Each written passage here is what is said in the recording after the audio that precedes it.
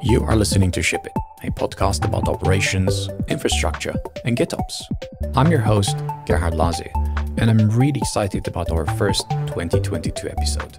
Today, I'm talking with Alexis Richardson, co founder and CEO of Weaveworks, about going fully remote, what a great team looks like, and GitOps, which is a way of implementing continuous deployment for cloud native applications. If you haven't heard of Open GitOps yet, now would be a good time to check out opengitops.dev. The most interesting part of today's conversation is the missing cloud native App Store. While Apple revolutionized the world with the App Store and the iPhone, we don't yet have something similar for cloud native apps. You may be thinking, but what about Operator Hub or all the Helm registries out there? And I can tell you that the registry fragmentation, operator deprecations, and lack of curation are not what people have in mind when they think App Store. Alexis has a great take on this. I really enjoyed our conversation and I think that you will too. Big thanks to our partners Fastly, LaunchDarkly, and Linode. Thank you for the great bandwidth Fastly. You can learn more at fastly.com. Ship new features with confidence by getting your feature flags powered by launchdarkly.com. And thank you Linode for keeping our Kubernetes fast and simple. Run your setup as we do via linode.com forward slash changelog.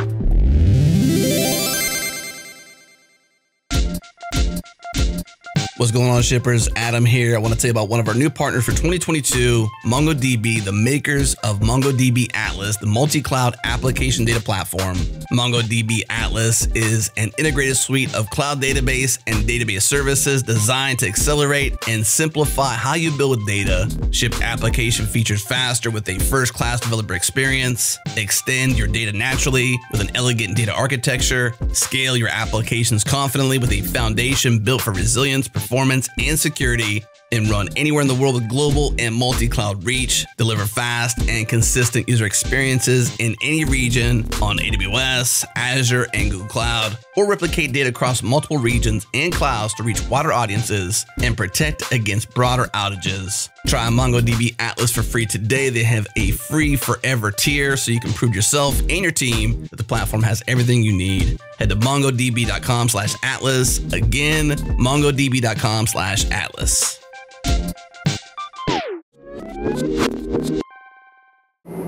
We are going to ship in.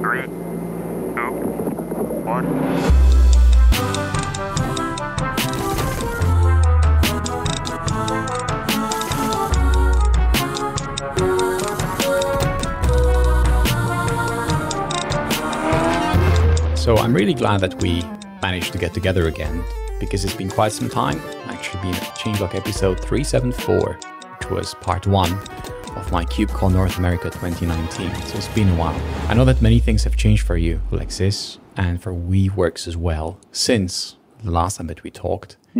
So I'm wondering, what is the most meaningful change for you in the last two years? apart from all the obvious ones, you know, like uh, there was this thing. What was it called again?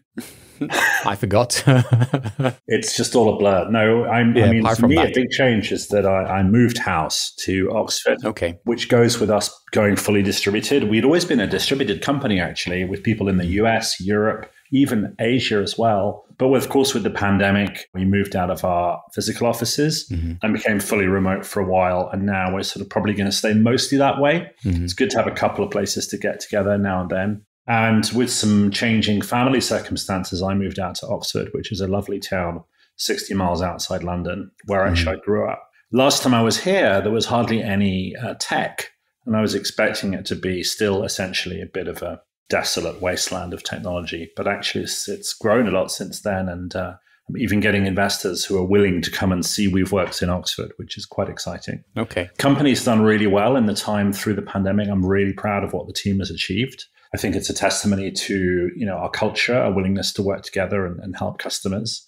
And I suppose on the technology side, our, our GitOps message has really taken hold. People understand it, it's widespread. We have products that implement GitOps very clearly. So do other people, which was always an intention. We wanted it to be, you know, not a GitOps, not to be a product, but a particular trend that everybody could implement in their own way. The CNCF did a GitOps definition mm-hmm. in the working group, which had, I think, over 100 participants from almost as many companies and came up with something that was just five lines long but we'll do for now. It took the only thing I can say is it took less time for 100 people to agree on a definition of GitOps than it did for six people in the CNCF TOC, sorry, 10 people to agree on a definition of cloud native. no, okay, okay.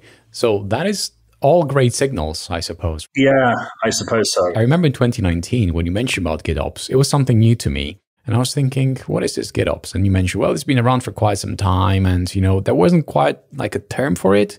It wasn't so popularized. And here we are two years later when 100 people can agree on that, you know, what it means. Okay. Where can we find this definition? Uh, if you type CNCF GitOps working group into Google, it should pop up. Okay. There is something called Open GitOps, I think, which has mm-hmm. it there. And we'll probably have other things, other kind of conformance things and standard tools that people can use for all kinds of stuff. And it's just the beginning because at the moment, you know, we're still at the everything that is old is new again stage of technology where, you know, just like containers recapitulated VMs, which recapitulated mainframes. I think that uh, GitOps recapitulates many, many, many things before it, like DevOps infrastructure as code, CI CD, mm. you know, even going back to the early 90s with promise theory from Mark Burgess. And um, a lot of the ideas that he had are now, I think, easy to implement. That's the key difference. And just like Docker made containers, which were just a Linux person thing, into something that any developer can, could use. I think GitOps is making operations mm-hmm. into something that any developer can, can take control of.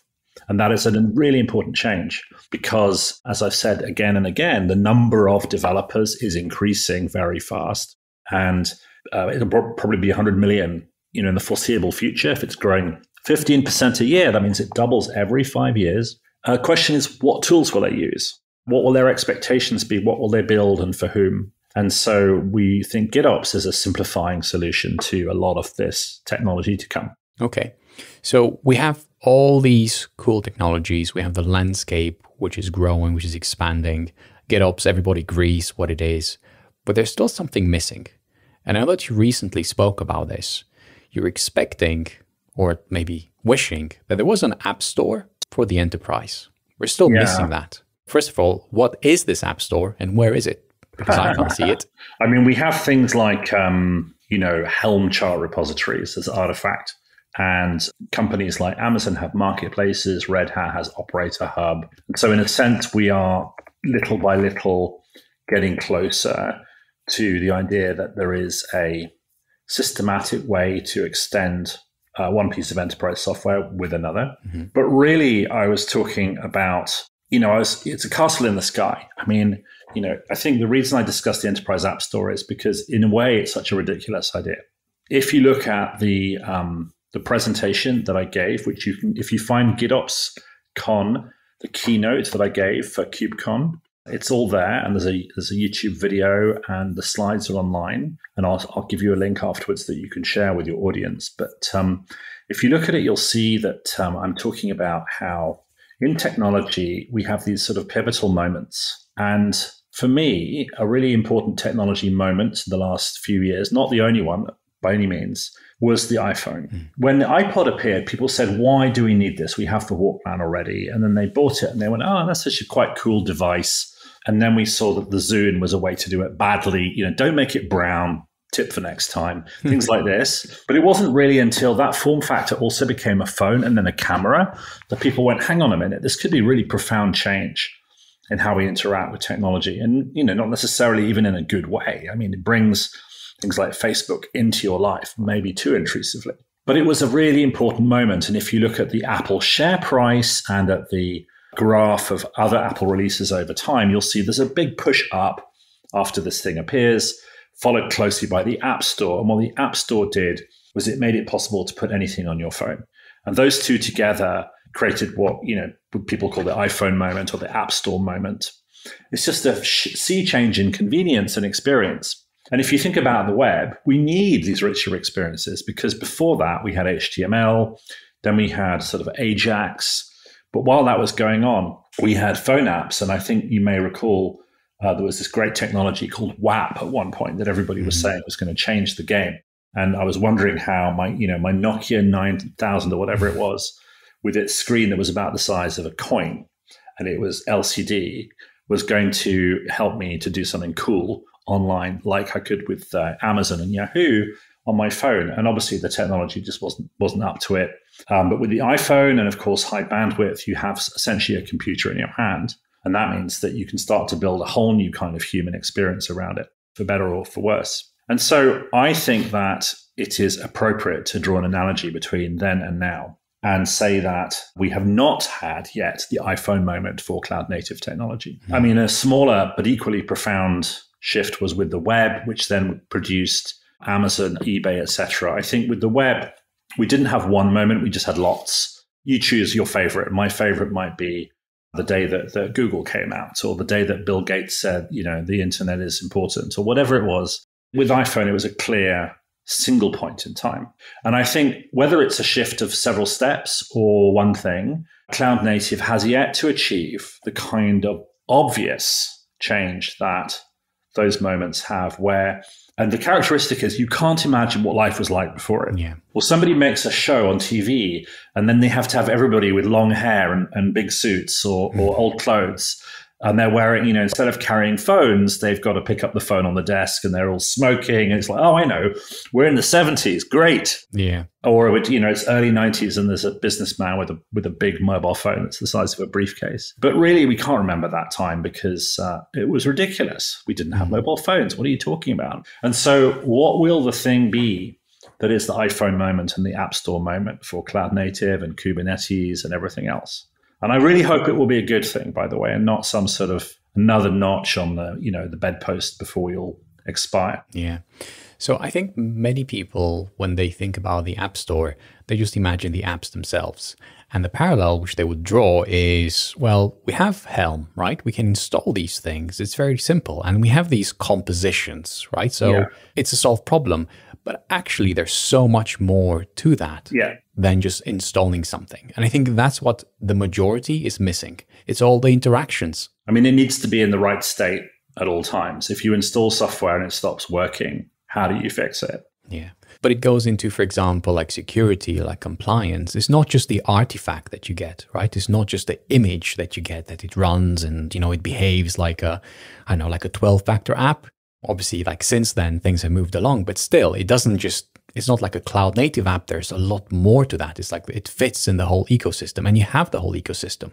There's upgrades to think about. There's yeah. uh, multiple versions to think about. There's like so much stuff and not everything is an app. You have stateful services mm-hmm, or mm-hmm. stateful systems. What about those? I mean they need to get on this in this world. They need to be operated and you know upgraded and managed the same way. What about observability? Then you have concerns which traverse every yeah. single app there's so much to it well i think it's worth contrasting what the world looks like with with phone apps where you don't think about that too much and the world of enterprise it i mean the reality today with kubernetes is if you and i decided to have a competition we start in the same amazon zone just we're using the same computers basically and we use the same version of Kubernetes. Let's say we both use EKS, it's Amazon's provided service, and we install. I install my cluster, you install your cluster. Maybe we each agree to put a couple of things on it, a couple of add-ons, Prometheus, something else, maybe some apps, and we each do it in lockstep. And then we let it run, and then we wait for like a couple of days. I would ask, is your app now the same as my app? And generally, we have no idea. And that is why enterprise IT is still hard yeah. because we don't want to be in a situation where these things are diverging potentially. We want to be in a situation where we know that they're correct, we know that they're the same, and we know they're under control. Mm-hmm. I think this is key. And um, the presentation that I gave made some sort of uh, pretty cheap jokes at the expense of enterprise IT, you know, the classic uh, IT crowd model with guys in the basement saying, Have you turned it off again and on again? Mm-hmm. But actually, you can't even turn off most enterprise software it just keeps running and then upgrading you know that's a chance for the team to take a few weeks off mm-hmm. deleting i mean how many people who did openstack pocs back in 2013 14 has they're still running somewhere in the organization yeah, exactly i was yeah even today like yeah and they will for many years because everybody will be scared to touch them right like leave it there who knows how much craft you would accumulate, right? It's like, you're right, it's difficult to imagine the Nokia before the iPhone. Like, what was that even like, right? App? How would you get an app? And we had the BlackBerry store, I remember that. Yeah. And that was like always like, what is running on this one? I have no idea because the interface was all wrong. The interactions were all wrong. So do you know of any enterprises today that have had maybe a mini App Store moment? Any examples? Well, I think people are starting to realize that there are some benefits of thinking in this way. I was talking with somebody a couple of days ago about the benefits of Kubernetes fleets. Fleet is basically a heterogeneous group of clusters. Mm. And if you're following the Kubernetes standards work, things like cluster class are starting to speak to this challenge. You may not know how many there are, you may not know who runs them, but there might be a few thousand clusters, and um, some of them have some properties that you want to change. Let's say you want to upgrade one of those well, hang on a minute. Why are we even upgrading? Wouldn't it be better just to shut the whole thing down and start a completely new one on a new version and then redirect the traffic? If we could make that easy, then for some, but not all cases, that might be a better way than trying to upgrade in place. And that's a really good example of approaching IT with a consumer mindset instead of an enterprise IT mindset. The whole idea of an upgrade leads us into problems in some cases. Yeah. I mean, sometimes, you know, we dispose of consumer technology because it's it's not upgrading in the way that we want to. It's just better to get a fresh thing, sadly, and let someone recycle it. Mm. Uh, so that's a good example. Another example is I see people discussing whether Kubernetes is a cloud or not. And of course, this mindset comes from when Kubernetes appeared, everybody said, oh, it's like Google for everybody else. Mm-hmm. And they think, well, Google's running this big cloud. So we can be like Google. Why would we want to be like Google? No one stops to explain this, but let's pretend it's a good idea. Therefore, Kubernetes must be like OpenStack. It must be a private cloud technology. Now, hang on a minute. Is it really a private cloud technology? Do we really want to have lots of different teams on a single Kubernetes cluster? Is it even designed for multi tenancy? If you ask the Kubernetes team if it's designed for multi tenancy, you will either get the answer no, or you'll get silence and then looking at the feed. And that's Kubernetes, not Borg. Borg is a different thing. And so actually, it's an app server. And if we could, going back to the shutting it down, turning it off and on again easily, always turn it on again in the state that we want it to be in, that would be great. It's just like the old days of Java and Tomcat. You have a little app running, a Java app running on Tomcat. You don't need it anymore. You shut it down. Hmm. You want it again, you boot it up. It just takes a few seconds. So what's the problem? Now, I know Kubernetes still takes more than a few seconds to boot up. But we're not that far away from it getting to the point of it being convenient. And so that then becomes actually a really important goal. So when you find people in the industry who do not treat their Kubernetes uh, clusters as special snowflakes that have to be looked after by a dedicated named team of people, but instead have got to the stage where the whole infrastructure is more or less disposable, you know, give or take a few assumptions, and the team are happy to move around, and some people are leaving the team and new people are coming in and being productive, then they've moved past that stage of thinking like a cloud and machines and starting to think in terms of disposable technology. Mm. So those are the signs I'm seeing, but nobody is actually trying to solve the whole problem at once because I think it's probably too big for one person to solve. We just see some we see little pieces of the elephant at a time.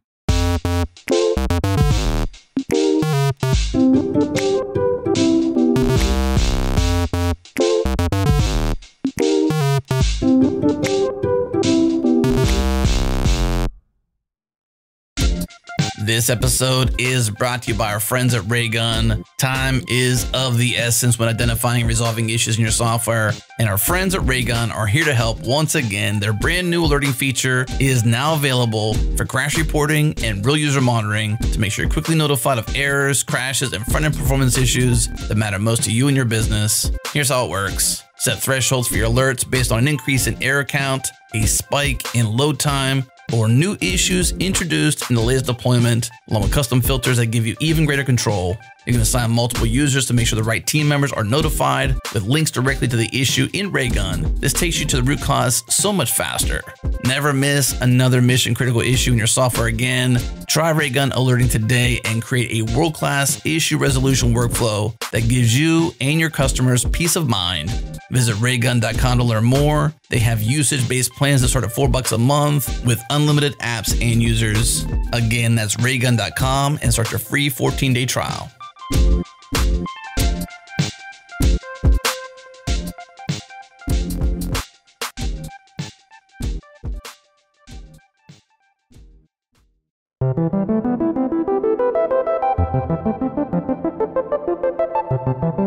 think that makes a lot of sense, and I do find myself in a similar situation when it comes to upgrading Kubernetes. I, not even Kubernetes, even like the components, like the essential components like external DNS, like uh, Cert Manager, like you maybe want to install it again from fresh rather than because there's always drift. Mm-hmm. And that's where all the problems come from. Migrations. What happens yeah. if a migration goes wrong? Like you have a backup, then you restore the backup, but you're just like caught like a point in time. What if that doesn't work anymore? What do you do then? How do you recreate the entire world? And I think that GitOps as a model can really help. So if you capture your entire definition, like like the base zero, and then on top of that, all the things can happen. So when you start again, you start from the same baseline, and then whatever needs to happen will happen. That's okay because of reconciliation, because of loops. But what is that baseline? Like no data, just the declaration. Well, yeah, that's the problem today. I mean, let's face it, there's no really good GitOps solution that includes data right now which is not to say that, well, let me explain what I mean by this. I think there are some amazing data solutions out there which we can discuss. When I say good GitOps solution, I mean something that has got to the point where it's easy for just about everybody. Mm. And GitOps is still breaking slowly out of the Kubernetes world to a world of the bigger world of application developers. It needs to be as simple as building a web page right now. It's not there yet. Mm. All the techniques that it's based on, like the sort of chefs and the puppet of this world that inspired all these infrastructure as code ideas and so on, you know, those are more complex and this is becoming simpler, but it's not there yet. But it does basically deal with apps if you know what you're doing. But data is much more challenging. Now, we do have some very great technologies like Apple Time Machine, which is based on Solaris. What was it called? Not zones, but um, snapshots. The Solaris snapshotting technology, ZFC. ZFS. The world's most amazing data storage layer. And some people I know, even friends of mine, have tried and failed to bring ZFC to the masses mm-hmm. a few times. It's just not happened yet, and I think there's just there's just a few pieces missing mm. that, that somebody will crack. But we'll get to a place where you know GitHub has a history, applications can have a history in GitHub or, or other tools, and data will have a history, and then you'll be able to bring those histories together sufficiently well to just about recreate your world, which is not the same. Let me be clear for people pedants, not the same as solving any hard computer science problems. you know, there will be edge cases. We will make mistakes. Things will fall out. But generally speaking, the business will kind of work around that stuff. Hmm.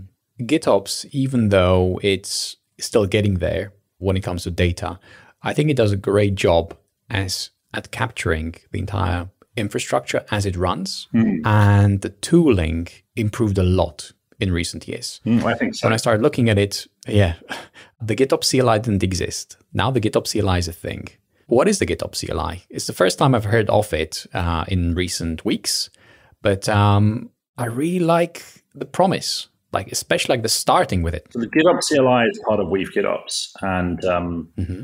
that's just something we've wrapped around uh, Flux. And it's our open source project. We recommend that you try it out. Mm-hmm. Uh, we have some ideas to make it even more exciting in the future, but right now it's pretty simple.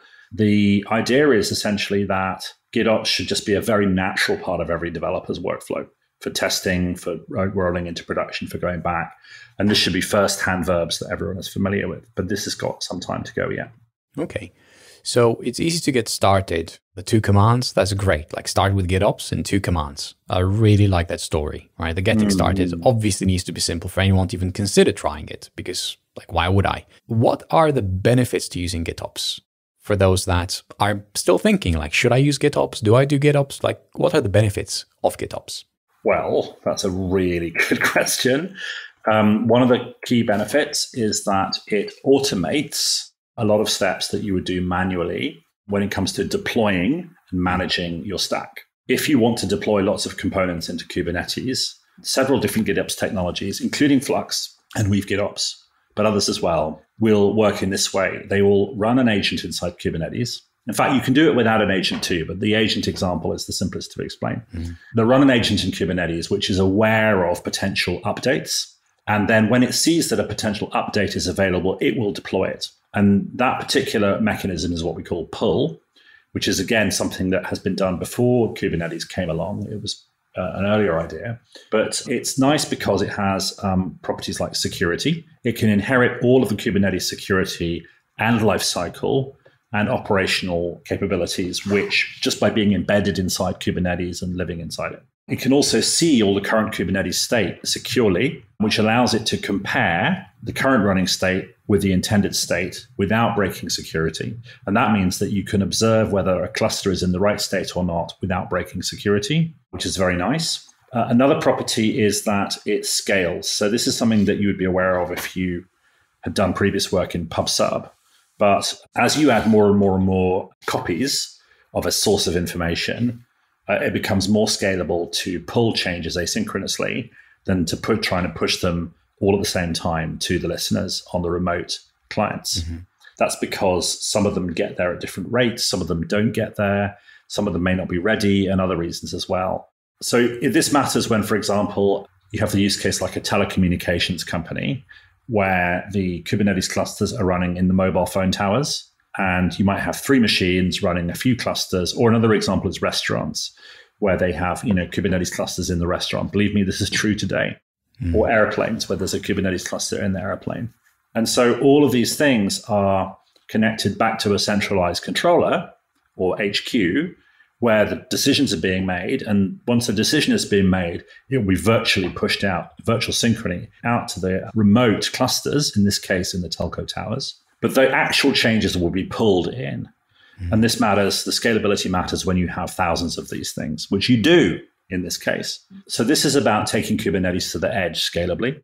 Another thing is that nobody touched the cluster, and yet you have thousands of identical clusters, or they can be different if you want them to be. So you can have complete management of a huge fleet across a geographical area, all in software, which means that now we can take something like the telco infrastructure which is upgrading to fast comms like 5G, and that could become an extension to the cloud. So that's like a mind blowing event. That could be one of the key steps towards the iPhone moment for cloud native apps. Mm.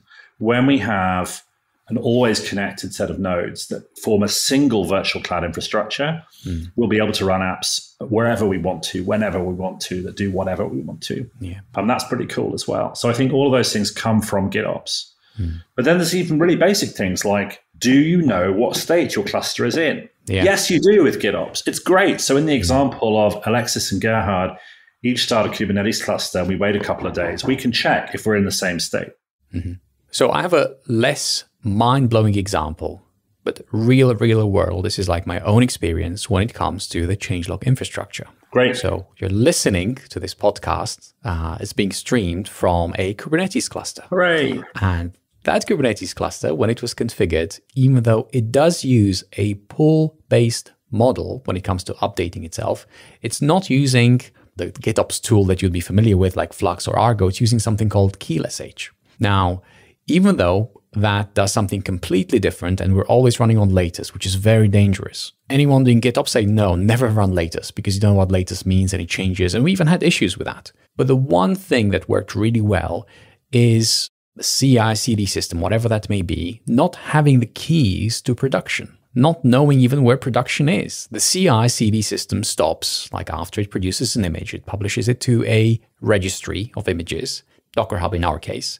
And there's this component which continuously keeps watching that image. When is the latest image? When it has been updated. Mm. And the properties of this, besides security, which you mentioned, which is a big one for many, is that you can run multiple Kubernetes clusters and all you have to tell it is like, just pull from latest. That's all you have to do. And that applies to everything. So I think we're about 80% there, but I never really completed the 20% to go to Flux or Argo or something like that, which I really want to do because I see the benefits of that. And we have been experiencing those benefits for about two years now. And it's great. Like pull based for deployments is great. Well, there's a few things we need to add. Like you mentioned compliance. Yes. So the App Store has a model where you know, whether it's Apple or somebody else, somebody will certify that once an artifact is in the store, it meets some quality assurance. At least that's the that's the idea. It's not always true, but you don't always want to push changes to your telco towers unless somebody's vetted them. Yeah. So the next phase, which I don't think is part of the sort of standard definition of GitOps, is to fully integrate policy and compliance into this, mm. so that we can have a concept of trusted delivery, and that includes the classic, the buzzword of the day, supply chain mm. signing your artifacts, so check provenance, attestation. All the cool new scanning tools can be part of this. Things like linting, things like static analysis. There are so many different examples. But fundamentally, you're saying, I get something from a safe place, I move it through a sequence of safe places safely, and I get it out to the right place safely. And that I think is really critical for the App Store as well, as well as what you're saying. How does the GitOps model fit with the CI CD, the continuous delivery pipeline specifically model? Because the pipeline, the one that delivers into production, I mean, the last step is, right? I yeah. deliver this and this is running. But the GitOps model changed that slightly. What does that change look like? You still do pipelines, but they work in a slightly different way. So we talk about GitOps pipelines as well. Mm-hmm. So the basic example is I have a CI tool which does some things, and then I'm ready to do a deployment. Yep. In the old days, my CI tool would run scripts to do that deployment.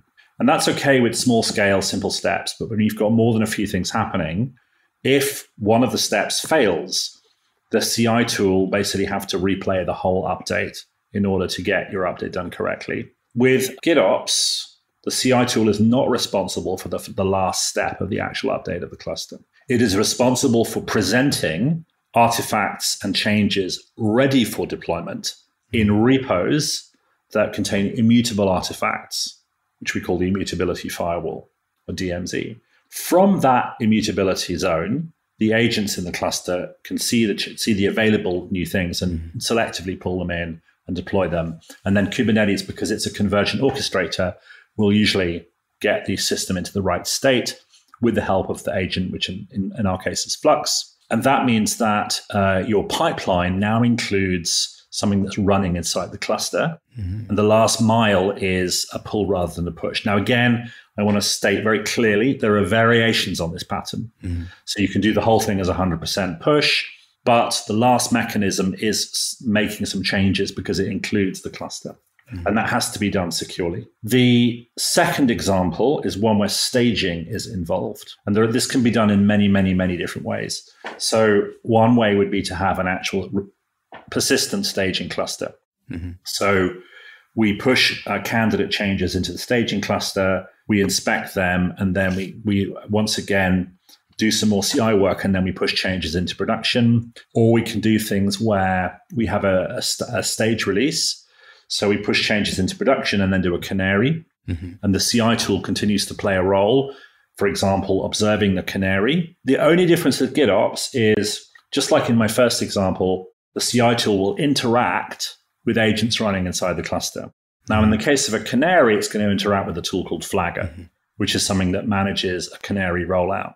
But it's just the same idea, except some of the some of the you replace a few scripts with mm-hmm. agents running in the cluster is, is the basic change. How does the pipeline interact with the canary? How does it know what the canary does? I mean, it can't be synchronous, right? In the case of Flagger, it has it outputs to Prometheus uh, according to configurable SLOs. Okay. So you can basically tell it, hey, push this canary out another 5% unless this metric is over this number. Mm-hmm. And then that interacts with external systems. So if you want to hook that up to your CI, the CI can sit there waiting watching for metrics coming out of the, the Prometheus channel to show you what's going on. So there's all kinds of things you can do.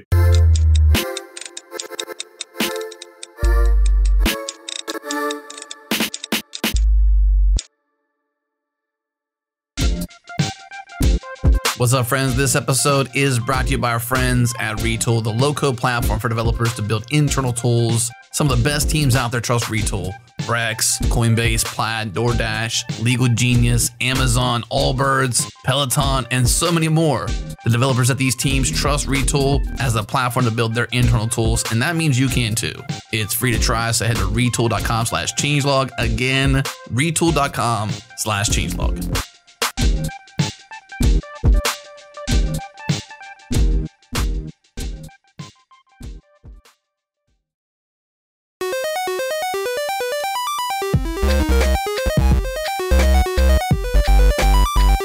What about the CI pipeline? In this case, the CI is more like a CI CD pipeline because even though it doesn't do CD, it observes a component that does the deployment.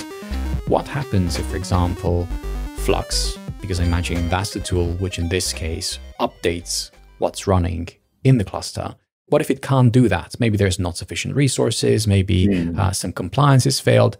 How does Flux communicate that back to the CI CD pipeline? So there is a write back mechanism which people have been putting into GitOps tools, which helps them to use essentially privileged channels mm-hmm. so they can communicate flags back. There is, I can't tell you exactly what level of support there is for different things. What I can also tell you is that we have GUI tools which allow you to look at a difference between what's in the running state mm-hmm. and what is in the intended state, which means that you can then see if things are in the state you want them to be. Mm-hmm. And that allows you to see if a job is completed. This is an area of active active work. I see what you mean. Okay, okay, that makes sense. So I'd like to shift a little because we talked a lot about GitOps.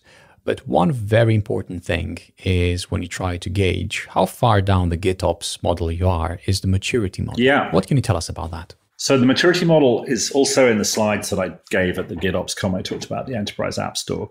And so there are a few layers. The, the most advanced layer is what we call scaled GitOps, which was when you think about your whole fleet as a or potentially a, a, single entity, just like you think about a data center mm-hmm. as a single group of computers.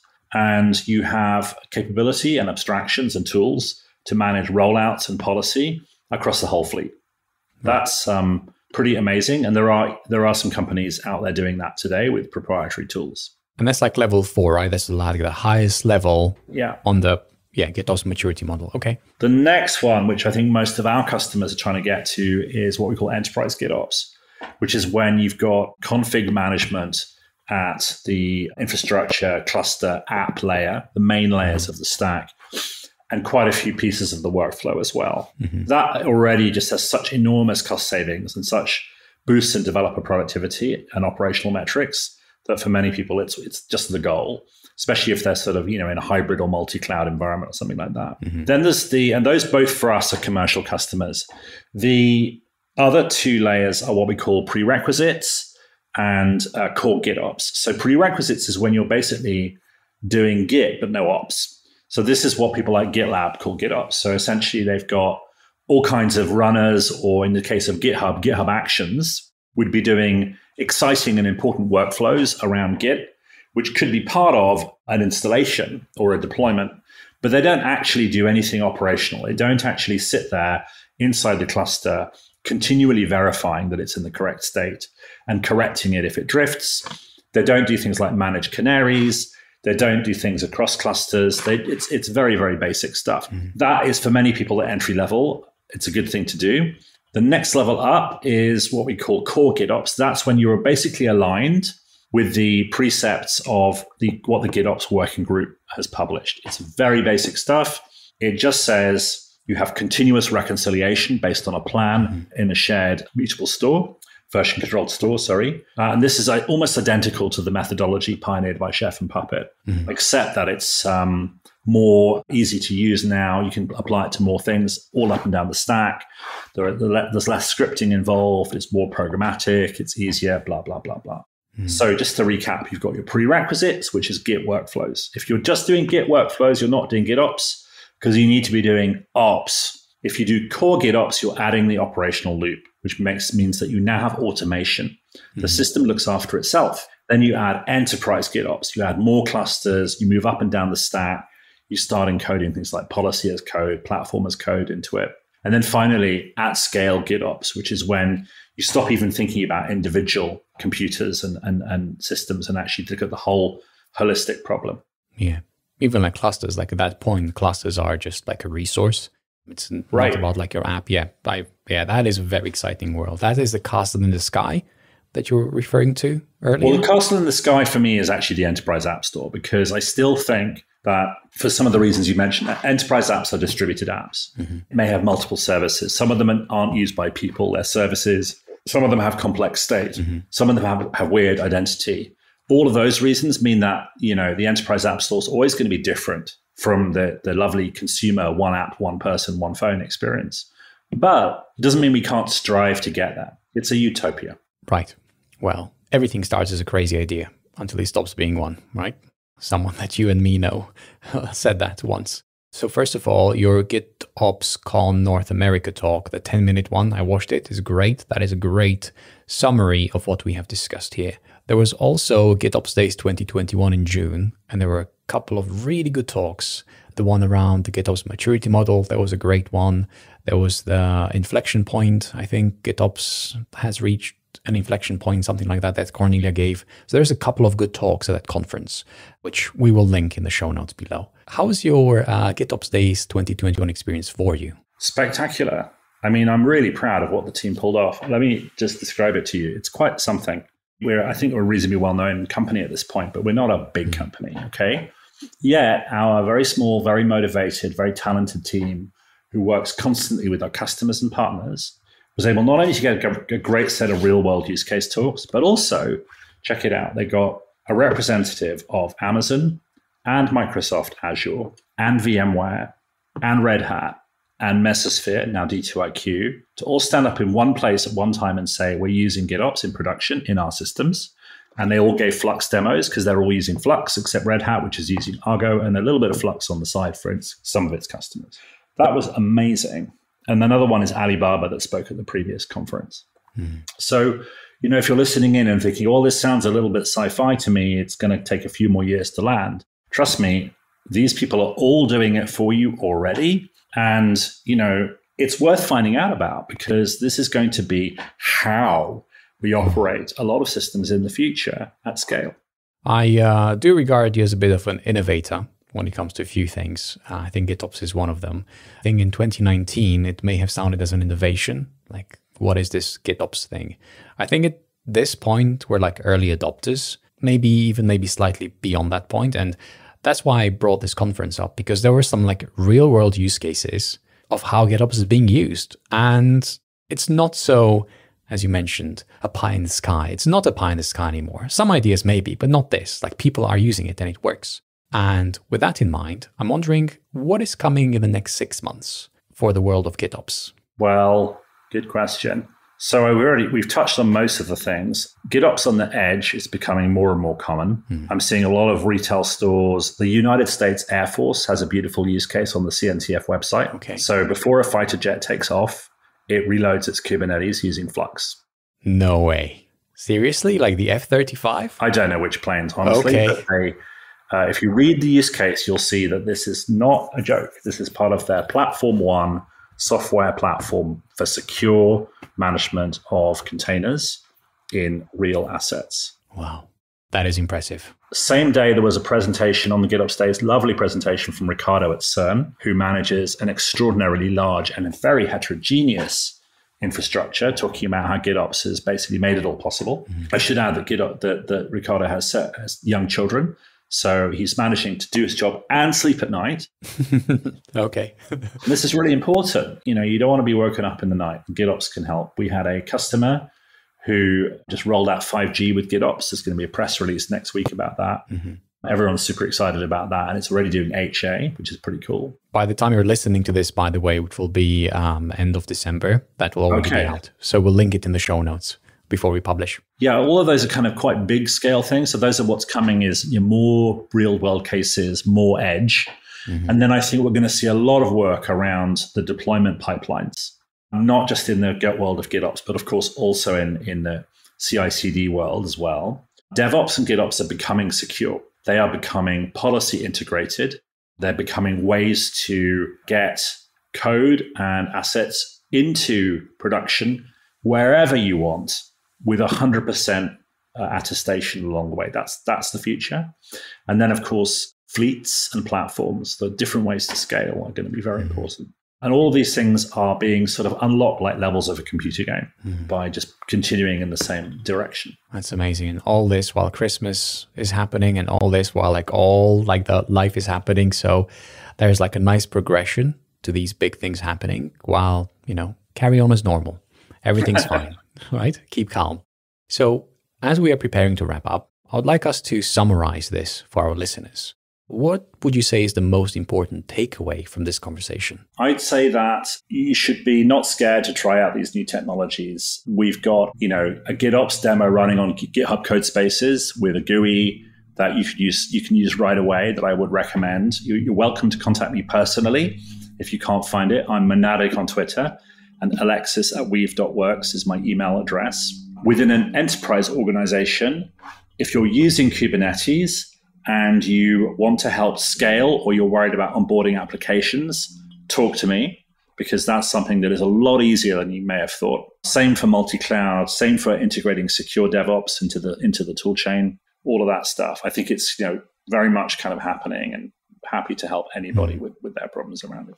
My most important takeaway is that I've been sleeping at the wheel for too long, and it is time to get properly into GitOps and try this out. I will do exactly as you said, reach out if I get stuck. So thank you very much for that. That's super helpful. And I'm really excited about 2022, what we will do for changelog with GitOps, as well as see what others will do for their real world applications. Mm. I mean, if the Air Force can do it, I think we can do it. Indeed, indeed, indeed. That's the way I'm thinking about it.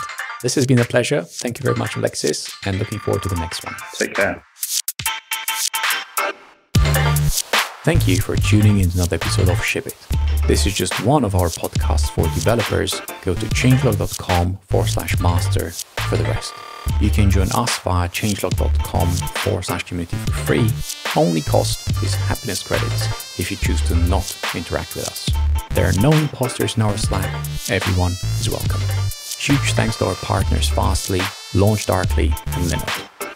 Thank you Breakmaster Cylinder for all our awesome beats. That's it for this week. See you next week. Actually, there's one more thing. Today, as I record this, is my first day with a new team of amazing people, and I'm super excited for this new venture. I wish the same feeling for you.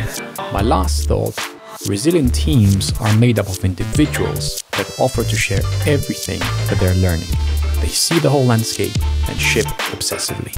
Don't finish it, just release it.